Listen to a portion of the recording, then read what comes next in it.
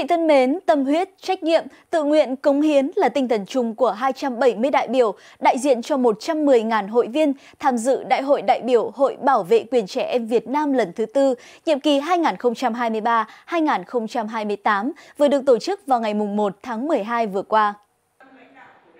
Tham dự đại hội có bà Nguyễn Thị Thu Hà, Phó Chủ tịch, Tổng Thư ký Ủy ban Trung ương Mặt trận Tổ quốc Việt Nam,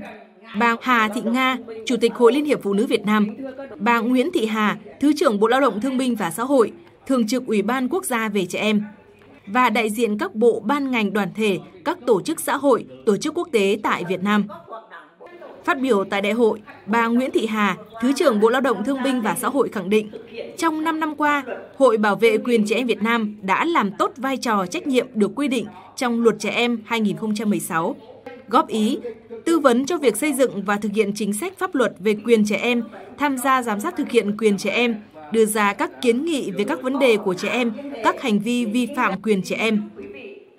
Thứ trưởng Nguyễn Thị Hà mong muốn trong nhiệm kỳ tới, Hội Bảo vệ quyền trẻ em Việt Nam tăng cường phối hợp với Bộ Lao động Thương binh và Xã hội, Hội Liên hiệp Phụ nữ Việt Nam và Trung ương Đoàn Thanh niên Cộng sản Hồ Chí Minh nghiên cứu xây dựng các chương trình đề án nhằm giải quyết một số vấn đề trọng tâm, cấp bách về bảo vệ quyền trẻ em.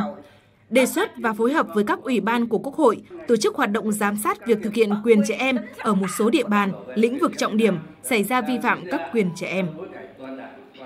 Tôi xác định rõ trước hết đấy là phải nâng cao cái vị thế của hội, kết nối thu thập các thông tin để kịp thời nắm bắt phản ánh với Đảng nhà nước để, để đưa ra các chính sách à, pháp luật cho phù hợp. Cái thứ hai là giám sát việc thực hiện quyền trẻ em, phát biểu chính kiến cái, cái quan điểm để bảo vệ trẻ em trong các cái trường hợp vụ việc trẻ em bị xâm hại và kiến nghị với cơ quan của Đảng nhà nước để có giải pháp. Đại hội bầu ra 68 thành viên ban chấp hành khóa 4,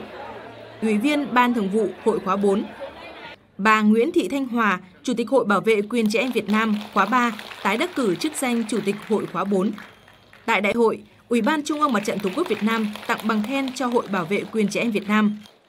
Bộ Lao động Thương binh và Xã hội tặng bằng khen cho 5 tập thể và 11 cá nhân có thành tích xuất sắc trong nhiệm kỳ vừa qua.